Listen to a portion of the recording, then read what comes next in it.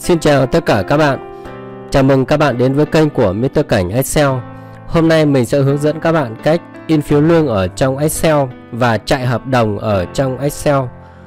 Thay vì chúng ta sẽ dùng uh, chức năng mailing ở trong Word để chúng ta chạy phiếu lương hoặc chạy hợp đồng thì hôm nay mình sẽ hướng dẫn các bạn cách uh, in ở trong Excel bằng lập trình VBA thì bây giờ chúng ta có một cái bảng data như thế này với thông tin uh, đầy đủ của uh, từng uh, người lao động. Đó từng người lao động. Và chúng ta sẽ dùng cái hàm VLOOKUP để chúng ta lấy các cái thông tin tương ứng sang cái sheet ở bên này theo cái mã từng mã nhân viên một. Đó thì việc của chúng ta là chúng ta uh, tạo một cái tạo một cái ô từ số đến số và để chúng ta, ví dụ chúng ta muốn in từ số nào đến số nào thì chúng ta có thể gõ trực tiếp số vào đây. Ví dụ bảng của chúng ta là, bảng của chúng ta ở đây mình đang chuẩn bị là có 35 người. Bảng của chúng ta có 35 người. Thì bây giờ ví dụ mình in từ số 1 đến số 2 thì chúng ta chỉ việc bấm in ở đây thôi. Vì máy tính của mình nó không kết nối với máy in thì khi mà mình bấm in thì nó sẽ hiện ra một cái cửa sổ. Các bạn xem nhé mình bấm in này đó nó hiện ra một cái cửa sổ như này cho cho phép chúng ta lưu lại cái thông tin mà à, cái phiếu lương đó. Nhưng mà mình sẽ không lưu lại. Và bây giờ đây là cái người đầu tiên là mình in từ cái người số số 1 thì là đây là à, mã nhân viên là A02 và họ tên là Mr. Cảnh Excel 2 đó. Rồi người tiếp theo thì mình bấm cancel đi thì nó sẽ tự động nó sẽ chạy người tiếp theo cho chúng ta. Đó tương tự như vậy. Bây giờ giả sử mình in từ số 5 đến số 7 đi 5 đến số 8 đi, Thì mình gõ số 5 đến số 8 ở đây. Và mình bấm in này, Thì nó cũng sẽ hiện như vậy. Đó, Người bắt đầu người từ người số 5 này, Xong đến người số 6 này. Đấy, Xong đến người số 7 này. Đấy, và đến người số 8 Khi máy tính các bạn kết nối với máy in Thì nó sẽ không hiện như này, Nó sẽ ra sản phẩm ở máy in của các bạn. Đó, Thì người số 8 từ người số 5 đến người số 8 đây là cái Mr. Cảnh à, Excel 9 các bạn xem nhé, người số 8 đây Mr. Cảnh Excel 9 đây các bạn nhé từ số 5 đây này đấy, từ Mr. Cảnh Excel 6 đến Mr. Cảnh Excel 9 đó, thì bây giờ mình sẽ hướng dẫn các bạn làm từng bước một để làm được cái việc như này khi các bạn làm à, phiếu lương trên Excel thì các bạn sẽ cần dùng đến à, lập trình VBA như này, thì nó rất là đơn giản hoặc các bạn à, muốn in hợp đồng cho từng người lao động cũng thế luôn nhé. Hợp đồng này, phụ lục hợp đồng này, đó, các bạn cũng làm tương tự như vậy. Thì để tạo được cái cái việc in phiếu lương ở trên Excel bằng lập trình VBA như thế này, thì mình sẽ mở một cái cửa sổ giao diện lập trình VBA ra. Chọn developer các bạn nhé, rồi chọn Visual Basic. Đây là cái code mà mình đã viết. Đó, code mình đã viết thì à, mình có viết hai trường hợp. Trường hợp thứ nhất là mình chọn in tất cả, tức là in từ đầu đến cuối luôn. Đấy cốt đầu tiên của mình viết là in từ đầu đến cuối luôn. Cốt thứ hai là mình sẽ in từng phần một ừ, tùy ý, tùy chọn. Đó, thì mình sẽ mình sẽ viết lại cái cốt mà lập trình in từng phần một hoặc là in tất cả đều được luôn các bạn nhé.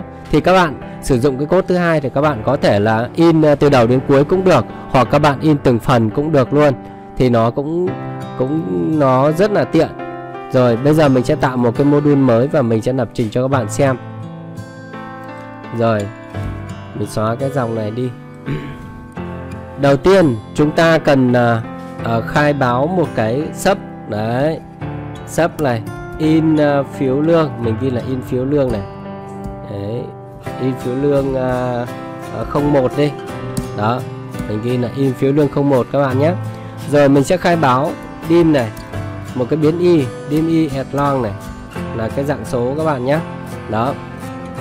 Rồi bây giờ nếu mà trường hợp mà mình in đấy ví dụ chúng ta muốn in cái sheet này ra sheet bring này này nó ở sheet số 2 các bạn nhé. Bây giờ chúng ta muốn in cái sheet số 2 này này ra ấy, thì chúng ta chỉ việc là uh, viết như sau này. Sheet 2 này sheet 2 chấm bring này. Bring out các bạn nhé sheet 2 chấm bring out đó. Nếu mà chỉ in cái sheet 2 này ra thì các bạn chỉ việc bấm sheet 2 bring out thôi là nó sẽ in ra cái sheet 2 cho các bạn bây giờ mình chạy cái cốt này cho các bạn xem này. Bấm chạy này. Đó. Ở phía nước 01 mình chọn run này. Đấy, các bạn thấy chưa? Là nó sẽ ra cái giao diện như này. Nếu mà trường hợp mà máy tính kết nối với máy in thì cái sheet 2 này nó sẽ được in ra ngay lập tức, các bạn nhé. Đó, mình làm từng bước để các bạn hiểu.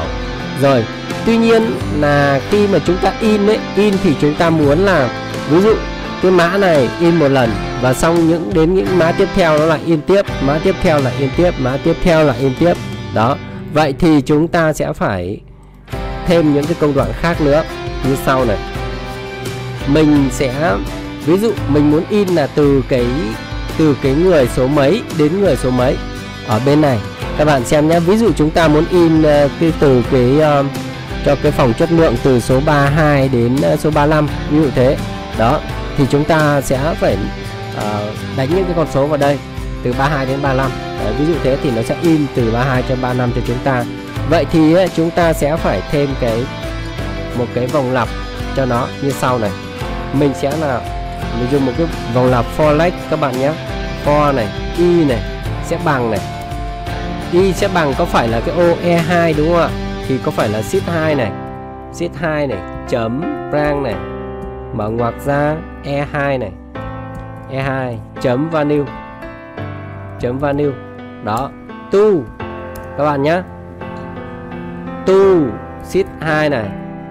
Chấm rang rồi, tới tới đâu nhỉ? Tới F2 đúng không ạ? F2 từ E2 đến F2 chấm value.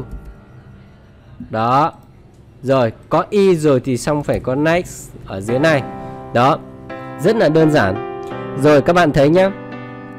Y sẽ chạy từ từ cái ô E2 cho đến tức là cái ô giá trị ấy cái giá trị của cái ô E2 cho đến ô F2 luôn. Đó thì khi chúng ta nhập cái giá trị nào vào đây thì nó sẽ in theo những con số mà chúng ta à, nhập ở trong này. Đó tuy nhiên ấy là các bạn lưu ý này. Tuy nhiên ấy là chúng ta, ví dụ chúng ta in thì chúng ta sẽ nhập từ số 1 đến số bao nhiêu đấy, đúng không ạ? Đó, nhưng mà khi chúng ta nhập số 1 đấy các bạn xem nhé, nhập số 1 đấy thì Excel nó hiểu rằng là số 1 là cái cái ô này. Đó, sẽ là dòng số 1 đó, số 1 là dòng số 1 số 2 là dòng số 2 số 3 là dòng số 3 vậy số 4 là dòng số 4 vậy chúng chúng ta có phải là chúng ta sẽ in từ dòng số 4 trở đi, chúng ta mới cần, mới lấy dữ liệu của nó để in, đúng không ạ? Đấy. Vậy thì nếu mà chúng ta gõ số 1 ở bên kia thì nó sẽ chạy từ số 1 này đến số 1 trở đi thì nó chưa có cái dữ liệu mà chúng ta cần lấy.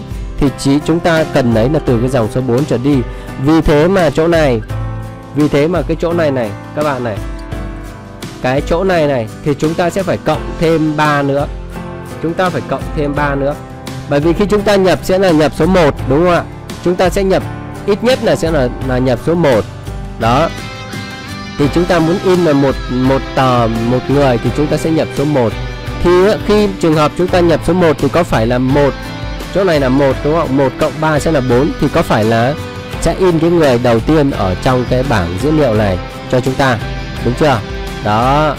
Rồi tiếp theo nhé tiếp theo thì ờ, tương tự như thế cho cái cái ô in từ đâu đến đâu? Đó, ví dụ ví dụ chúng ta chỉ in một người thì có phải là chúng ta sẽ nhập từ, in từ số 1 ở đây đúng không đến số 1 đến đến đây đúng không ạ? Tức là chúng ta chỉ in một cái người đầu tiên thôi thì là từ số đến đến số đúng không ạ? Thì số 1 này cộng với 3 sẽ là 4 đúng không ạ? 4 thế thì bên này bên này thì chúng ta cũng phải cộng với 3 nữa đúng không ạ? Bên này chúng ta cũng sẽ phải cộng với 3 nữa. Thì nó mới nó mới ra được cái giá trị mà chúng ta cần in ở cái dòng số 4 này. Đó tức là chúng ta in từ dòng số 4 đến dòng số 4 đó, ý nghĩa là như vậy. Đó, thì chúng ta sẽ phải cộng thêm 3 nữa các bạn nhé. Rồi, tiếp này, chưa xong. Chưa xong. Rồi, các bạn lưu ý này. Thì khi mình in là mình in theo mã này, đúng không ạ? Theo mã này. In theo mã này, thì có nghĩa là gì nhỉ? Đi theo mã đó thì có phải là mình ở dưới này mình sẽ phải chọn là nó phải có điều kiện, đúng không ạ? Tức là nó phải có cái cái mã đó, nó phải thay đổi liên tục, đúng không? Thì là sheet 2 này. Sheet 2 này, chấm rang này. Rang này C2 đúng không ạ? C2 C2 này. Rồi, chấm value này. C2 chấm value này nó phải bằng điều kiện để in ra ấy, thì nó phải bằng bằng cái gì các bạn? Bằng cái gì nhỉ? Có phải là cái bằng bằng cái cột B này đúng không các bạn? Đấy, có phải bằng cái mã này không? Đúng không ạ? Đó tức là chúng ta sẽ phải lấy cái mã này sang bên đó. Đúng không ạ? Đó. Thì có phải là C2 chấm value nó sẽ bằng là sheet 1 shift 1 này, chấm rang này. Rang này, cột B nha các bạn nhé. B này, nối với Y đó, chấm value B nối với Y chấm value tức là gì nhỉ? B nối với Y chấm value nhé Y thì nó bằng Y thì nó bằng từ cái ô ô này đến ô này đúng không ạ? Cộng với 3 đúng không ạ? Đấy. Y bằng cái đó cộng với 3 có nghĩa là y thấp nhất sẽ bằng 4 y thấp nhất sẽ bằng 4 thì có phải là chúng ta cái o, OC2 này này OC2 này này kết quả của OC2 nó luôn luôn bắt đầu bằng OB4 OB4 chính là cái cái cái mã này các bạn nhé. Đấy B4 chính là cái bắt đầu từ cái mã này. Đó. Nếu mà y nó bằng y nó bằng 4 thì cái cái dòng này sẽ được in ra. Y bằng 5 thì cái dòng này là sẽ được in ra và tương tự như thế. Đó. Rồi. Thì chúng ta chỗ này chúng ta sẽ để như thế này. Rồi. Bây giờ nhá mình mình để cái cái sắp này tên là in phiếu lương 01 rồi. Sau đó mình sẽ gắn vào cái nút gắn vào cái nút này. Đấy, mình gắn vào cái nút này như sau nhé in phiếu lương 01 các bạn nhé đây mình gắn vào cái nút này ở trong cái file này mình bấm ok này. Đấy. Rồi bây giờ giả sử mình in người đầu tiên là số 1 đến số 1 nhé các bạn mình bấm bấm in này. Đó. Số 1 này. Số 1 là A0002 này Mr. cảnh Excel số 2 này. Bây giờ giả sử mình lưu cái này nè. Đấy ví dụ mình như mình như bình thường nếu mà các bạn à, ở công ty thì các bạn bấm in thì nó sẽ ra máy in. Các bạn nhé mình như A002 ngoài desktop này cho các bạn xem này. A002 này. Thì lập tức là cái cái đó nó sẽ được lưu thành chung một cái file PDF ở ngoài laptop của chúng ta. Đấy. Vì máy mình không có kết nối với máy in, cho nên là nó sẽ ra một cái file PDF như thế này. Đây các bạn xem này, đó thấy chưa? Đó. Nó sẽ ra một cái file như này. Tuy nhiên khi chúng ta in thì chúng ta sẽ không in cái phần là từ số đến số này, đúng không ạ? Đấy. Không in phần từ số đến số vì thế mà mình sẽ in gì nhỉ? Mình chỉ chọn khu vực in thôi ví dụ mình chọn cái sheet 2 thì mình chỉ có in cái vùng này thôi mình quét cái vùng này này. Đấy mình vào à, đâu nhỉ? Đấy mình chọn à, uh, bay layout này chọn ring area chọn uh, set ring area. Đó thì sheet 2 mình chỉ in cái phần này thôi mình thì chiếu lên mình xem nhé ring này đó các bạn thấy chưa?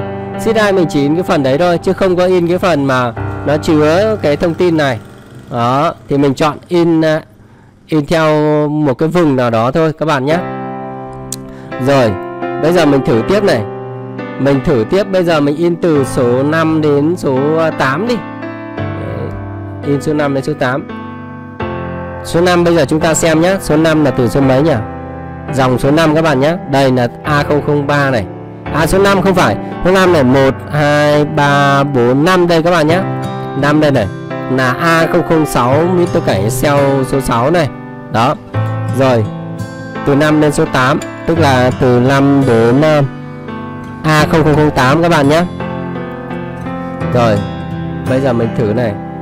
Mình thử Từ 5 đến 8 này. Mình bấm in này. Các bạn thấy chưa? A006 Rồi, mình mình coi như mình không có lưu nhá. Mình cancel coi như là nó in ra một bản nhá. Mình cancel này nó chạy bản tiếp theo này. Đó số 7 này các bạn thấy chưa? Số 7 rồi mình cancel này coi như là ra một bản nữa nhé nó sẽ chạy một bản tiếp theo này. Đó số 8 nhé các bạn thấy chưa? Bây giờ mình bấm lần nữa là nó không ra nữa bởi vì mình chỉ chọn từ 5 đến 8 thôi. Ờ, còn một lần nữa đến 5 đến 9 rồi bấm cancel. Rồi hết rồi. Tức là từ 5 đến 8 là mấy bản nhỉ?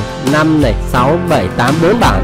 Đó 4 bản nếu mà trường hợp các bạn muốn in từ đầu đến cuối thì các bạn chỉ việc chọn là là gì nhỉ? Từ 1 cho đến là bao nhiêu? 1 đến 30 năm. Đó, thì các bạn chỉ việc gõ từ 1 đến 1 đến 30 năm ở đây. Đó. Nếu các bạn muốn in đến 100 giả sử danh sách của các bạn có một một nghìn người thì các bạn có thể tách các cái phiếu lương à, tách các cái phiếu từng lệnh một đấy các bạn tách từng lệnh một thì các bạn in có thể là từ 1 đến 100 này đúng không? Xong lần sau là từ 101 này đến à, 200 chẳng hạn thế. Đó. Rồi xong bắt đầu các bạn cứ bấm in thôi là nó chạy sẽ chạy cho các bạn. À, từ con số này đến số số này. Đấy theo cái mẫu Excel của các bạn ở bên này để nó sẽ ra những cái phiếu lương hoặc là những cái hợp đồng mà các bạn là làm sẵn đó thì nó sẽ chạy cho các bạn. Rất là đơn giản đúng không? Khi các bạn biết lập trình VBA thì nó có ứng dụng đó rất là hay rất là hay. Thì mình có dạy uh, lập trình VBA ờ, cho người uh, chuyên cho người đi làm và có đào tạo Excel từ các bản đến nâng cao. Đấy kể cả cho người chưa biết gì về máy tính luôn mình cũng dạy được hết luôn và dạy bảo đảm là các bạn sẽ làm được. Vì mình không giới hạn số buổi các bạn nhé. Các bạn học làm được thì thôi. Đó nhưng với điều kiện là các bạn phải học liên tục trong vòng 6 tháng. Và các bạn lưu ý nhé. Đấy các bạn không mình không giới hạn số buổi nhưng các bạn phải học liên tục trong vòng 6 tháng tức là học bao giờ xong thì thôi nhưng mà thường thì sẽ không kéo dài như vậy đâu. Đấy người nào chậm thì hai tháng người nào nhanh thì một tháng thôi. Đó các bạn lưu ý nhé. À, số điện thoại của mình là 0966 659 558 đó cảm ơn các bạn đã theo dõi clip của mình. À, cảm ơn và cảm rất rất cảm ơn các bạn đã, đã đăng ký kênh của mình và có thể là bấm like và chia sẻ cái kênh ờ, cái cái video của mình cho bạn bè cùng biết nhé à, nếu bạn nào có câu hỏi các bạn có thể comment ở phía dưới video này. Mình sẽ à, làm clip để hướng dẫn tiếp theo cho các bạn. Rồi xin chào và hẹn à, gặp lại các bạn ở những clip tiếp theo.